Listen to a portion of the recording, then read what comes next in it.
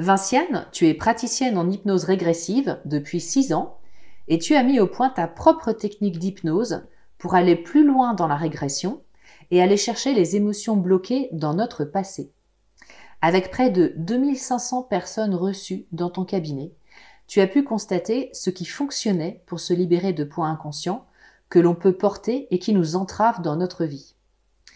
Nous reviendrons à la fin de cette interview sur les modalités pratiques de la formation que tu proposes pour devenir soi-même praticien de cette technique. Mais pour commencer, peux-tu rapidement nous rappeler le principe de l'hypnose et dans quelles problématiques de vie elle peut nous aider? Oui, bien sûr. Bonjour Carole. Euh, alors l'hypnose, en fait, c'est un outil qui est puissant et qui donne en fait accès au changement euh, sur différents objectifs, que ce soit dans l'objectif du développement personnel ou spirituel, ou même pour des, troubles du comportement, des, sensations de mal-être ou, ou d'émotions. ensuite, ce qu'il faut savoir, c'est que en fait, 95% de nos comportements sont issus de notre inconscient. Donc on contrôle finalement que 5% de nos agissements dans notre vie quotidienne. Et c'est assez intéressant de savoir comment naviguer dans cet espace qu'est l'inconscient pour aller comprendre en fait euh, d'où proviennent ces, euh, ces, comportements qui nous font défaut ou ces émotions qu'on ne, qu'on ne contrôle pas. Alors toi, tu as une double casquette parce que tu fais de l'hypnose régressive donc depuis quelques années, mais tu fais aussi de l'hypnose ericksonienne. Oui. Euh, tu t'es formé à l'Arche, qui est une école euh, connue. Euh, Qu'est-ce que c'est l'hypnose ericksonienne par rapport à l'hypnose régressive? Alors l'hypnose ericksonienne, en fait, va euh, s'adapter complètement aux consultants qu'on a en face de nous, c'est-à-dire qu'on va s'imprégner de ses valeurs, de ses croyances, pour du coup lui proposer une expérience hypnotique qui va lui permettre euh, bah, de s'immerger et de se permettre aussi de baisser tous ses filtres euh, de son éducation ou de la politesse, tous ces filtres qui nous empêchent d'être nous-mêmes. Euh, et ce qui est intéressant justement avec l'hypnose ericksonienne, c'est qu'on adapte ce passage crucial pour les praticiens en hypnose, qui est l'induction, c'est-à-dire qu'on construit, on la personnalise pour que le consultant puisse vraiment rentrer dans cette expérience. et c'est là où je trouvais que dans ce que j'ai trouvé en hypnose régressive euh, au début de ma pratique, où c'était euh, des scripts qui étaient euh, tout faits. Donc finalement, soit la personne se retrouvait dans le script qui était proposé par le praticien, soit malheureusement, la personne ne s'y retrouvait pas et ne partait pas en, en transe. Est-ce que tu peux nous rappeler, pardon, ce qu'est l'induction pour les gens qui ne savent pas? Oui, bien sûr, tu fais bien de me couper. L'induction, c'est la première partie de la séance d'hypnose, juste après l'entretien, où la personne, en fait, va commencer à, rentrer dans un état modifié de conscience, c'est-à-dire qu'on va commencer à lui, euh, lui faire changer sa perception des choses par des exercices de visualisation, euh, en questionnant ses ressentis kinesthésiques. Et toute cette expérience qu'on va lui proposer va être en réponse à ce que le consultant nous propose lui aussi. En gros, si la personne, on, se rend compte que dans ses réponses, elle est plutôt euh, à visualiser, on va creuser dans le sens de la visualisation. Si on se rend compte que la personne est plus à ressentir, automatiquement, on lui parlera pas de visualisation. Euh, et c'est là où on s'adapte en fait au consultant qu'on a en face de nous. Hmm. Qu'est-ce qui fait que tu as, tu, donc es formé à l'hypnose ericksonienne, mais que tu as une préférence, on va dire, pour l'hypnose régressive? Qu'est-ce que tu as constaté? Parce que tu as quand même eu plus de 2500 personnes, et j'en mhm. suis témoin, énormément de gens qui viennent te voir. Euh, en quoi ça t'a plus parlé, on va dire? Euh, J'ai trouvé que c'était passionnant parce que euh, en régression, en fait, on peut partir dans tout ce qui est récit non biographique. Donc on va. Quoi un récit non biographique? Oui, un récit non biographique, ça va être par exemple le récit des, ancêtres du consultant. Euh, on peut aller dans tout ce qui est mémoire transgénérationnelle. Euh, si le consultant, bien sûr, vient avec euh, cette ouverture d'esprit, c'est-à-dire que si pour lui, dans sa conception de la vie, il est porteur potentiellement d'une mémoire qu'aurait pu vivre son, son grand-père, sa grand-mère, et qu'il a envie d'aller explorer ces mémoires-là, alors ça va se faire. Euh, dans les récits non biographiques, il y a aussi tout ce qui est euh, vie passée, donc euh, l'antériorité, tout ce qui est de l'ordre du karma. Encore une fois, si ça fait partie des croyances en fait du consultant, hein, il faut qu'il ait cette ouverture d'esprit. Soit c'est lui qui va me le proposer, qui va me dire voilà je viens vers vous parce que vous travaillez avec le karma et que vous permettez d'aller par exemple dans les archives akashiques, dans, dans mes mémoires en lien avec mon âme. Et là, automatiquement, ça va se faire. Ou alors, si je sens que la personne a cette ouverture d'esprit, qu'elle n'ose pas forcément y aller, je vais pouvoir lui proposer. Ça peut être aussi un, travail qu'on va faire ensemble. Euh, donc, on a les mémoires transgénérationnelles, les vies euh, passées, et puis il y a aussi les vies symboliques. C'est-à-dire qu'à travers un récit que la personne va nous raconter dans un état d'hypnose, elle va revoir l'histoire, en fait, qu'elle se raconte. Et c'est là où on peut aussi allier en fait l'hypnose ericksonienne, puisque euh, bah, Milton Erickson lui euh, permettait en fait à ses consultants à l'époque de re-raconter l'histoire que ces personnes se racontent d'elles-mêmes, qui forment en fait toutes leurs euh, croyances. Et, parfois on est persuadé, par exemple, oh bah je suis. hier j'avais une consultante par exemple qui me disait, oh bah de toute façon dans ma famille on est froid c'est l'air glaciaire dans ma famille, c'est comme ça, c'est familial, on est tous froids, on sait tous pas se parler. Et je lui dis, et si jamais vous voyez la chose autrement et que vous essayez de communiquer, et si vous essayez d'être chaleureuse par exemple, comment ça fait pour vous? Et là, elle m'a regardée, elle m'a dit, mais ce n'est pas possible. Mais qu'est-ce qui fait que ce n'est pas possible? Donc euh, l'idée c'est ça, c'est à travers des récits non biographiques aller euh, chercher l'origine du pourquoi la personne s'est construite autour de euh, bah de, de, ses croyances, de valeurs, et parfois c'est des choses pour elle qui sont même antérieures à sa naissance. Et en fait, ce que tu m'expliquais, c'est qu'avec l'hypnose régressive, tu te, tu es vraiment dans la croyance de la personne. Si la mhm. personne n'est pas du tout euh, ouverte euh, à ses, ses, histoires de vie passée, c'est pas un problème. En fait, tu travailles avec le cadre de croyance de chacun. Exactement. Tu t'adaptes. Euh, je crois que c'est ce qui fait euh, mon côté un petit peu atypique, c'est que je m'adapte pleinement à la personne que j'ai en face de moi. Je, connais beaucoup de praticiens en hypnose régressive qui ont tendance à imposer leurs croyances en disant voilà, c'est comme ça. On a une âme, on a eu plusieurs vies antérieures, c'est comme si, c'est comme ça, vous allez être en lien avec vos guides, votre conscience supérieure. Et en fait, la personne en face ne se retrouve pas forcément, va dire oui, oui, ok, par politesse, mais dès lors où il faut aller voyager après en hypnose, ça ne se fait pas. Et il y a des résistances. Et là, ces praticiens vont dire, bah, il y a du mental, euh, la personne n'était pas hypnotisable. Et donc, du coup, va en plus donner la croyance à la personne en face qu'elle n'est pas hypnotisable. Et là, je trouve que c'est dommage parce que finalement, si on va plutôt vers la personne, qu'on la rejoint dans ses valeurs, dans ses croyances, alors tout est possible. Si une personne vient vers, moi et me dit, euh, moi je crois euh, que j'ai un guide et mon guide c'est ma grand-mère. Depuis que j'ai 10 ans, je sens ma grand-mère tous les jours et c'est elle qui me guide dans ma vie. Je vais pas alors lui parler euh, d'un ange autre qui va la guider durant sa séance d'hypnose. Je vais plutôt aller utiliser entre guillemets, hein, je mets entre guillemets euh, euh, sa grand-mère en tant que guide dans la séance pour du coup l'amener elle au changement. Et là, on ouvre euh, du coup ce, ce, plateau thérapeutique que j'appelle en, en, hypnose régressive, où le changement est possible parce qu'on est dans l'expérience de la personne, on la guide. D'ailleurs, c'est marrant parce que euh, j'avais interviewé aussi Antoine Bioy qui, qui fait de l'hypnose et qui parlait de, de, ça aussi et des vies antérieures et il disait parfois les gens qui nous font des récits de vie antérieure sont des récits qui émotionnellement collent complètement à leur vie. Finalement, peu importe comment on l'appelle, ce qui compte, c'est d'y aller en fait, c'est de ressentir les choses et de vivre les choses sous hypnose. Exactement. Euh, quand on est par exemple dans une exploration de, vie antérieure, euh, en général la personne vient en consultation parce qu'elle a une problématique dans sa vie. Euh, je peux citer peut-être un exemple.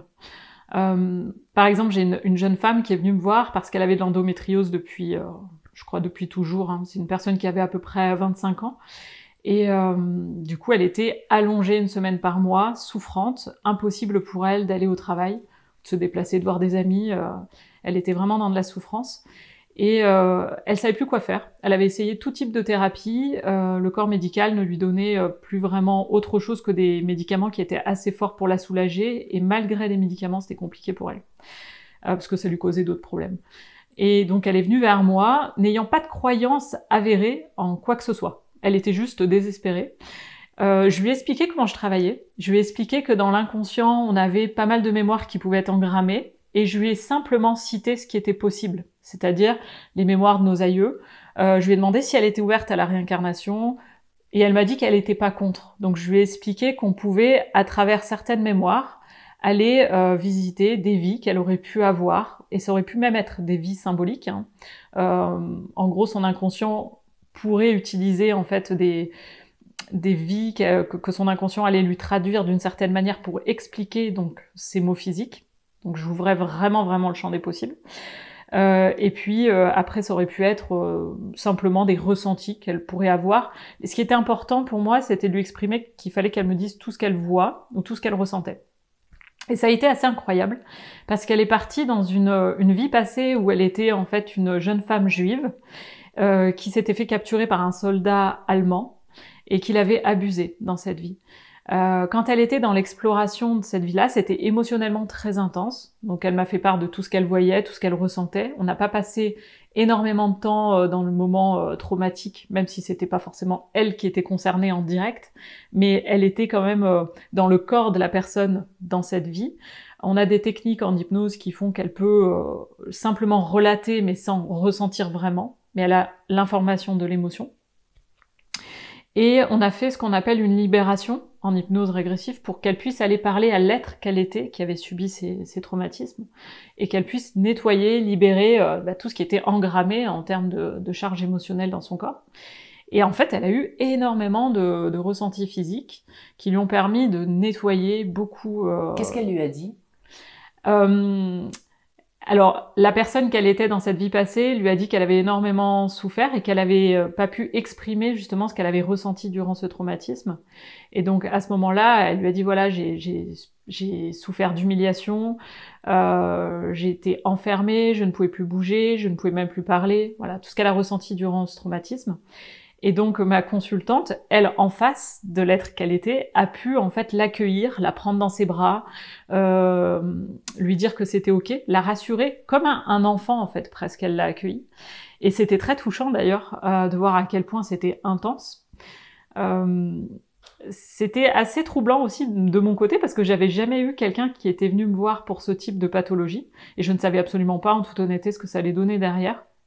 Elle est ressortie de cette séance étant un peu éprouvée. J'avoue qu'elle, euh, je crois qu'elle est allée se coucher d'ailleurs euh, après la, séance d'hypnose.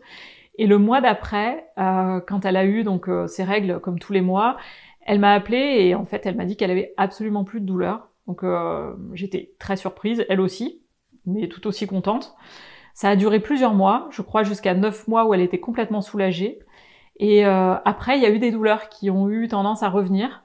Et après, c'est une personne que j'ai perdue de, vue, euh, donc euh, je ne sais pas exactement jusqu'où ces douleurs sont revenues, mm. mais pendant neuf mois en entier, elle a été soulagée.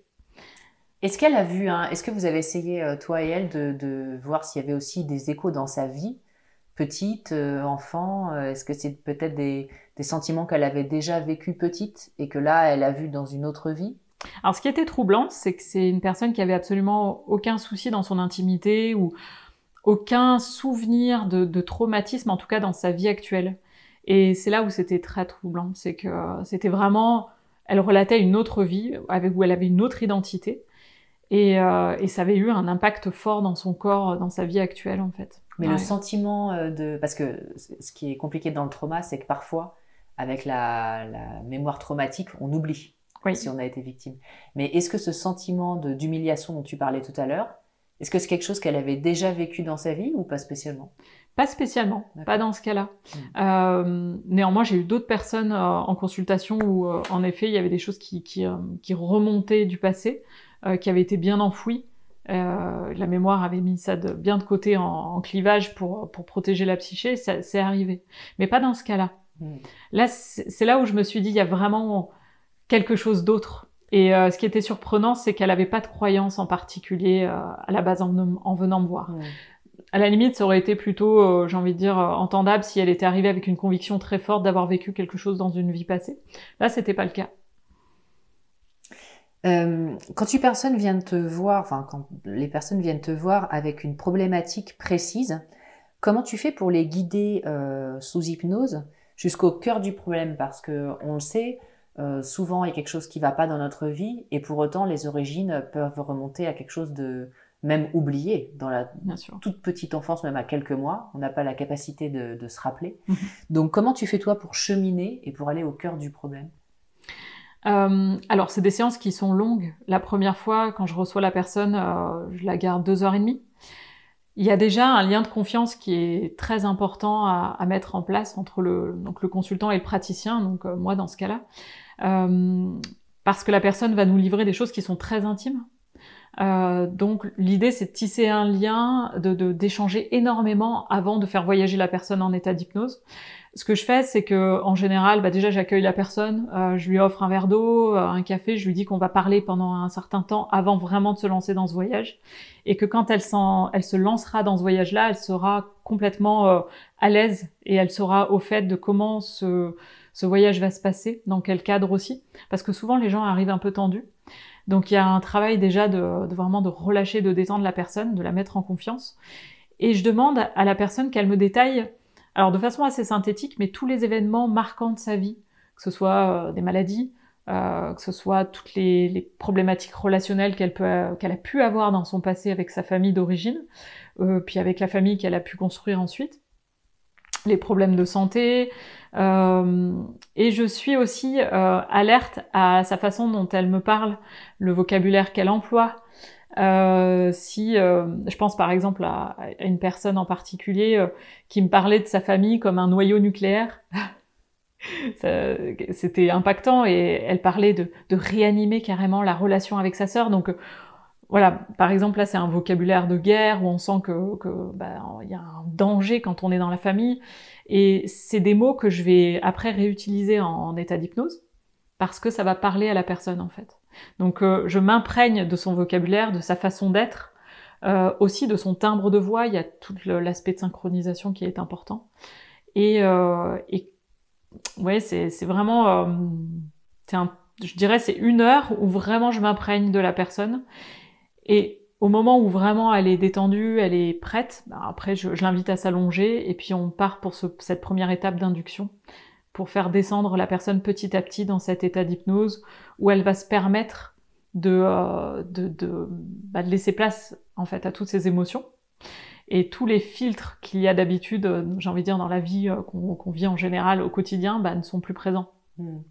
Même si l'esprit critique est toujours là, hein, euh, donc le fameux mental euh, dont beaucoup de praticiens se battent avec, moi je vais plutôt en faire un allié en fait, pour que je puisse travailler avec lui et que tout ce qui du coup euh, est là à la base pour protéger la psyché de la personne, ce que va venir en résistance un petit peu au départ, c'est-à-dire oh, attention, euh, là, toutes ces informations qui remontent à la conscience, euh, à l'intérieur, c'est des pensées qui passent, qui vont dire est-ce que c'est vraiment vrai ce que je vois, par exemple?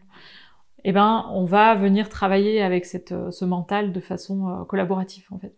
Comment tu fais ça? Alors, déjà, le, mental, la personne va entendre des pensées dans sa tête. C'est-à-dire, euh, tiens, ça fait combien de temps que je suis là? Ah, ça me gratte, j'ai envie de bouger. Euh, oh, là, je, vois quelque chose, mais c'est quand même trop bizarre, je peux pas lui dire. C'est toutes ces pensées qui vont avoir tendance à freiner la personne dans le changement. Euh, très souvent, ce que je dis, c'est que c'est un peu comme un iceberg. Il y a 95% qui est immergé sous l'eau, l'inconscient, et les 5% qui dépassent, c'est la partie consciente. Vraiment, la frontière entre les deux, c'est l'esprit critique.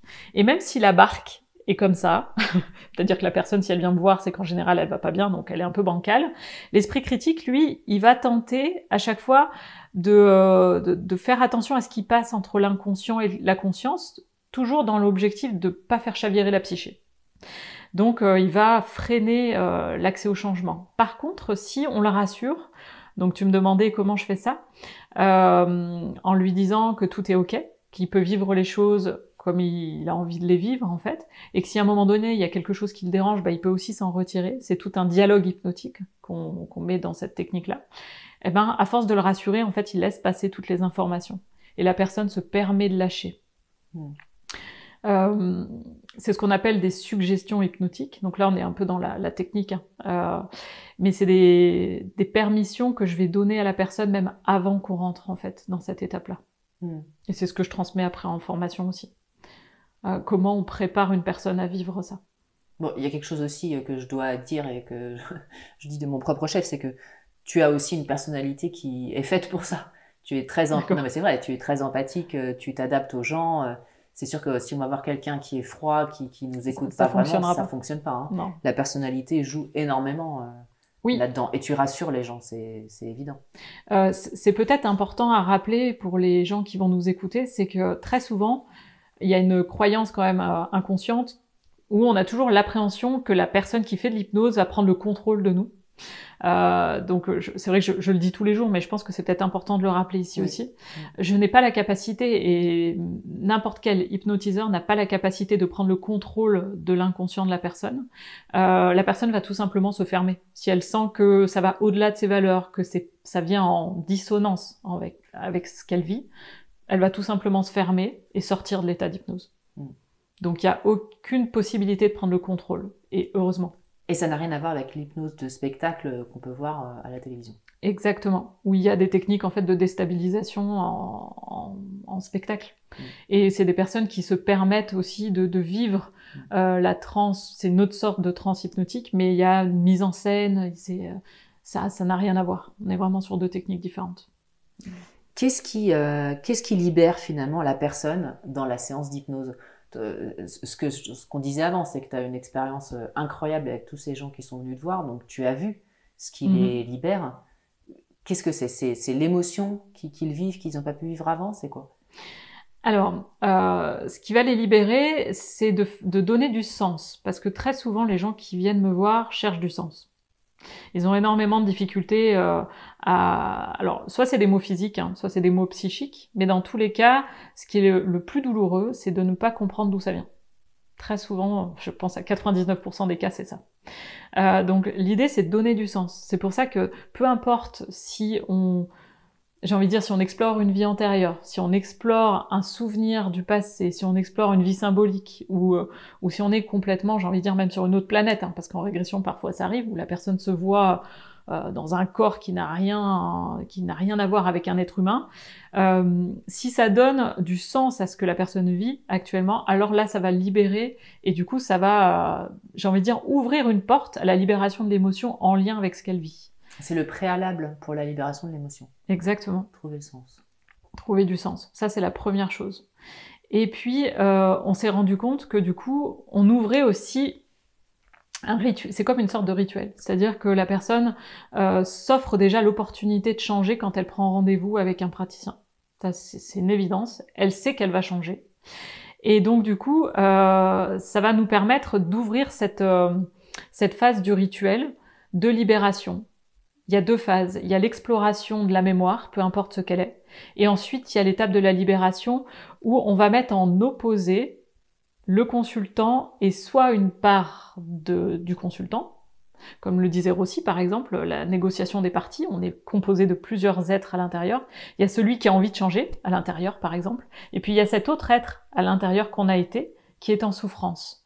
Et si alors on dissocie les deux, si on met par exemple l'être qui est en souffrance en face de l'être qui a envie de changer, euh, et qu'on les fait euh, échanger entre eux, là on ouvre une porte à de la libération. Euh, par exemple, Milton Erickson, lui, parlait plutôt de mettre en opposé la conscience et l'inconscient. En hypnose spirituelle de régression, par exemple, on va et en fonction des croyances toujours de la personne, on peut mettre en parallèle et en opposition le consultant et sa conscience supérieure le consultant qui vit sa petite vie sur Terre, et puis la conscience supérieure qui n'est pas incarnée. Qu'est-ce que la conscience supérieure a à dire, par exemple, au consultant pour l'aider dans sa vie? Et le fait de faire échanger les deux parties comme ça entre elles va permettre à la personne de réguler des émotions, euh, de changer des comportements, et, euh, et puis de, de, mettre du sens en fait sur ce qu'il vit. C'est marrant ce que tu dis parce que j'ai fait récemment une interview avec une, une, praticienne en IFS, Internal Family System qui est une thérapie qui vient des États-Unis, qui arrive doucement en France et qui sera diffusée bientôt sur ma chaîne. Et en fait, ça part exactement du même principe que nous avons plusieurs parts en nous, dont une espèce de, noyau pur qu'on va appeler comme on veut en fait. On peut appeler le guide, on peut appeler le moi supérieur, on peut appeler euh, euh, notre identité euh, propre et qui va discuter avec les autres parts. Et apparemment, ça marche très très bien, ce genre de thérapie. C'est très efficace. Euh, le tout, c'est de, j'ai envie de dire, de bien choisir la partie opposée en fonction du consultant qu'on a en face de nous. Ça revient un petit peu à ce qu'on se disait euh, au tout départ euh, de cette interview. si la partie opposée n'a rien à voir avec les croyances de la personne, euh, qu'on lui propose dans, dans, dans, le travail, ça, ça n'aura pas, ça va pas faire écho à l'intérieur du consultant. Mmh. Donc du coup, ça ne marchera pas. Par contre, si c'est euh, quelque chose, enfin l'information que le consultant nous propose, qu'on va mettre, euh, qu'on va intégrer dans ce travail-là, là, ça fonctionne. Comme l'histoire, par exemple, de cette grand-mère qui était un guide pour la consultante depuis l'âge de 10 ans. Si, par exemple, on met en opposition euh, cette grand-mère qui va donner des conseils à cette personne-là en face dans le travail hypnotique, ça va être d'une puissance incroyable. Mm. Euh, je reviens juste un petit peu sur les témoignages. Tu m'avais parlé aussi d'une personne qui s'appelle Eve. Oui. Euh, c'est un témoignage très intéressant. qui était venue avec une perte de sens, pas de confiance en elle, pas d'estime d'elle-même. Tu peux nous raconter Oui, bien sûr. Euh, Eve, euh, donc Eve est venue, euh, c'est une personne qui était dans l'esthétique euh, à son compte, et puis un jour elle vient, elle prend rendez-vous donc au cabinet, et elle était vraiment avec une estime d'elle-même qui était, je pense, bien en dessous du sol. et puis elle ne comprenait pas parce que bon, c'est quelqu'un qui avait pas eu forcément de noyau euh, familial au départ, euh, qui a pas été accompagné dans sa construction, euh, très seule en fait depuis toute jeune, et puis qui s'est construite vraiment là où le vent l'a emmenée. Et, et c'était compliqué pour elle de, de tisser des, liens avec les autres. Elle avait toujours l'impression que les autres l'aimaient pas, l'ensemble des personnes qui l'entouraient, et elle pensait que ça venait d'elle en fait. Et elle est venue donc à l'hypnose régressive, un petit peu comme plein de personnes qui ont essayé plein de thérapies, qui arrivent euh, dans cette thérapie-là pour se dire bon bah j'aurais essayé ça avant d'arrêter toutes sortes d'accompagnements. Et en fait, elle est partie dans une euh, vie, alors une vie, euh, j'irais pas antérieure, mais une vie euh, bien loin de la Terre où elle s'est retrouvée sur une planète où il y avait des cristaux un peu partout, et elle s'est rendue compte qu'elle était un extraterrestre. Alors c'était vraiment quelque chose qui était complètement très très loin de ses croyances. Et, euh, et donc Mais qui lui parlait, qui, elle le ressentait? Alors sur le moment, elle était assez euh, surprise de ce qu'elle voyait. Donc c'était comme s'il y avait une part d'elle qui donc connectait à ce qu'elle me racontait. Et, euh, et puis cette autre part à l'intérieur où des fois elle me elle sourcillait un peu comme ça en se disant mais pourquoi je raconte ça en fait? Qu'est-ce que qu'est-ce que c'est que ce truc? Et elle s'est rendue compte que c'était euh, qu'elle était donc un extraterrestre qui soignait les gens avec les pierres, euh, qui avait besoin de passer beaucoup de temps seul euh, et qui avait de grandes capacités en fait euh, parapsychiques. Donc on a navigué dans cette vie en tant qu'extraterrestre pendant un bon moment. Et quand elle est revenue de cette séance d'hypnose, elle était assez troublée déjà parce qu'elle avait eu une transe assez profonde, elle se rappelait pas de tout. Donc euh, j'enregistre à chaque fois toutes les séances. Hein. C'est rare quand même quand les personnes ne se rappellent pas comme ça. Mais elle avait une vague idée de ce qu'elle avait raconté, donc après bien sûr elle a réécouté sa séance. Et elle s'est rendue compte que chaque élément qu'elle avait euh, vu dans cette mémoire, dans cette exploration, avait un lien avec sa vie actuelle. Et dans sa vie actuelle, elle avait en effet plein de pierres chez elle, pas précieuses, mais des pierres qu'elle ramassait quand elle partait en montagne pour se balader, euh, parce qu'elle partait très régulièrement en fait euh, dormir dans la montagne toute seule, puis sans jamais aucune crainte. Et donc là, elle a compris pourquoi, parce qu'en fait c'est quelque chose qu'elle faisait déjà, mais sur cette autre planète. Et dans cette autre planète, elle soignait avec ses pierres. Et donc là, elle a commencé à faire des liens quand elle est rentrée chez elle, que chaque élément qu'elle avait ramassé euh, dans la montagne un peu intuitivement, sans raison, avait en fait une symbolique dans sa vie euh, et sur le chemin qu'elle devait prendre. Et donc cette personne a littéralement changé de vie. C'est-à-dire, elle est passée donc euh, euh, de esthéticienne à praticienne en soins énergétiques. Elle fait aussi de l'hypnose. Et puis tout à coup, toutes ses relations autour d'elle ont changé. Comment? Comment elles ont changé? Petit à petit, un peu par synchronicité, à force de finalement euh, bah, s'intéresser à tout ce qui était énergétique, soin, elle a commencé à rencontrer des personnes qui rentraient en synchronisation avec elle. Et donc du coup, bah, ses relations étaient beaucoup plus simples parce qu'elle rencontrait des personnes qui n'avaient rien à voir avec son milieu euh, avant dans l'esthétique, où finalement c'était, ils étaient à milieu euh, de ce qu'elle pouvait être. Et là, bah, du coup, elle donne des formations, elle rentre en contact avec les gens et tout est beaucoup plus simple pour elle. Et elle est passée d'une posture où en fait elle savait pas où était sa place, mais bon, elle était limite habituée à ça, puisque depuis le début de son, son existence, ça avait l'air d'être compliqué de d'avoir un positionnement, alors que là, ben tout à coup, elle c'était naturel en fait. Ouais, elle s'est reconnectée à, à, une vérité d'elle, quelque part. Complètement. C'est une vraie révélation. si c'est euh, voilà, vrai ou pas quelque part, mais en tout cas, c'était sa vérité. Exactement. Et je pense que c'est même pas forcément important de savoir si c'est vrai ou pas. Peu importe que, j'ai envie de dire, elle ait réellement été un extraterrestre dans une autre vie ou qu'elle le soit dans une vie parallèle, ou que ça soit purement symbolique, purement euh, issu de son imagination. En tout cas, son inconscient s'est servi en fait de ces images, de ce vécu, de ce récit non biographique pour l'emmener euh, dans sa, dans son positionnement, dans sa vie là aujourd'hui. Et, et c'est vrai que c'est beau à voir. Et aujourd'hui, elle est épanouie et complètement. Et c'est ça le but. Hein, oui, je crois qu'elle a trouvé aussi un amoureux il y a pas très longtemps, et alors qu'avant c'était pareil, c'était très compliqué pour elle d'avoir une vie sentimentale. Je crois qu'elle en avait d'ailleurs pas. Et euh, donc euh, c'était voilà un, des témoignages mm. aussi très touchants. Mm. Mm, alors, euh, pour, euh, pour euh, clore cette interview, on va arriver plus à, la partie pratique de ta formation.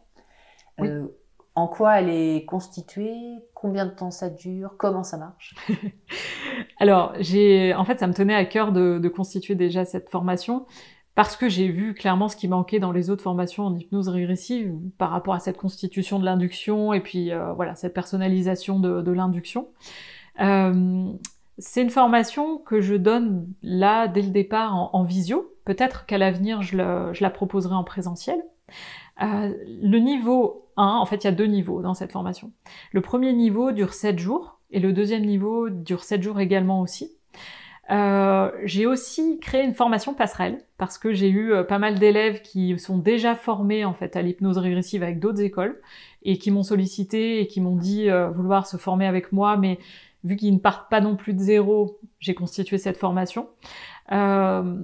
Ce qui est important pour moi, c'est de recevoir les gens en entretien avant pour vraiment euh, comprendre leur objectif euh, bah, de, voilà d'accompagnement. Ça peut être pour des thérapeutes qui ont déjà un outil et qui veulent complémenter avec donc cet outil de l'hypnose régressive.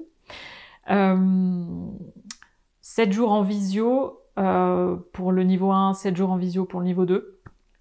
C'est super agréable de travailler en visio, en formation, parce que euh, du coup, à travers Zoom, donc le logiciel que j'utilise, on peut créer des salles virtuelles où euh, on peut travailler en binôme et on est dans le calme. et ça, c'est précieux parce que quand on est en présentiel, ben, on est souvent dans des grandes salles où on est un petit peu perturbé par le bruit euh, des, groupes à côté, alors que là, on est vraiment bah, dans le confort de son domicile et, et dans le calme. Donc ça, c'est... Euh, Et c'est des groupes de combien de personnes Jusqu'à combien de personnes Alors, 10 personnes. Je prends pas plus de 10 pour vraiment faire du travail de qualité, mmh. pouvoir accompagner chaque personne, chaque élève dans, dans son projet et euh, pouvoir du coup répondre aux questions et avoir assez de temps par, euh, par élève pour, pour progresser. L'idée, c'est qu'après le niveau 1, chaque élève pourra du coup accompagner un consultant dans une séance d'hypnose régressive. Euh, et le niveau 2, c'est vraiment pour constituer une stratégie d'accompagnement sur plusieurs séances. Est-ce qu'il y a des prérequis pour euh, faire cette euh, formation? Est-ce qu'il y a des choses qui doivent alerter aussi? Moi, je, je sais quelqu'un qui, qui formait des thérapeutes me disait attention au syndrome du sauveur, par exemple. Oui, bien sûr, bien sûr, bien sûr. Alors, en termes de prérequis, je dirais qu'il n'y a pas forcément de prérequis à avoir. Euh, ce qui va être important pour moi, c'est vraiment de recevoir les gens par téléphone euh, en entretien pour euh, parce que je sais qu'on a tous des, parcours atypiques, des voilà, on va je, vais avoir pas mal de personnes qui viennent de milieux différents avec des projets différents, donc pas de prérequis, simplement une belle motivation, avoir travaillé un minimum sur soi, en effet, et puis, euh, alors le syndrome du sauveur, c'est toujours un petit peu, euh, j'ai envie de dire, dans les débuts de, de l'accompagnement, on a envie clairement d'aider, voire de sauver des personnes. Il y a aussi avec l'expérience qu'on comprend et qu'on s'ajuste en termes de positionnement. Euh, et puis en formation, c'est des choses que je vais aborder hmm. pour euh, adopter la posture juste en tant qu'accompagnant. Ouais, comprendre ses limites, savoir jusqu'où on va. Et puis même dans le dans l'accompagnement en hypnose en fait. On, on doit savoir jusqu'où on va pour accompagner la personne, mais où sont nos propres limites. Et c'est même dans le discours pré-hypnotique en fait.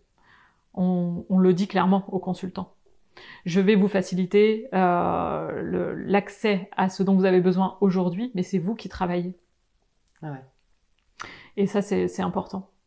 Parce que beaucoup de personnes, et c'est normal, hein, vont euh, visiter des praticiens en hypnose et ont besoin de, en se disant, on va, on va nous claquer des doigts, et puis ça y est, le, le problème va être résolu. C'est pas comme ça que ça se passe. Il faut responsabiliser les personnes sur euh, leur cheminement et leur développement. Ouais. Et est-ce qu'il y a des, des qualités nécessaires hein, pour les gens qui voudraient se former? Oui, l'écoute. Effectivement. Alors vraiment écouter. C'est vrai que pour avoir accompagné déjà plusieurs élèves dans d'autres structures en, formation, euh, je vois que c'est là où, ça pêche en fait. Très souvent, euh, les élèves pensent écouter, mais n'écoutent pas vraiment euh, la personne en face. Et c'est une écoute très particulière, c'est-à-dire qu'il faut euh, pas absorber l'émotion de la personne en face, c'est pas ça, mais euh, s'imprégner de ce que dégage la personne, de son vocabulaire, un petit peu ce qu'on se disait tout à l'heure, euh, de son vécu et de ses croyances, de ses valeurs, de comprendre son fonctionnement en fait. Voir au-delà.